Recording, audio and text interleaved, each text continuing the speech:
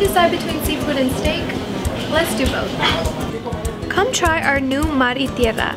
It comes with carne asada, chicken breast, shrimp with grilled scallions, jalapenos, cucumber, avocado salad, and pico de gallo, served with black beans, rice, and corn tortillas.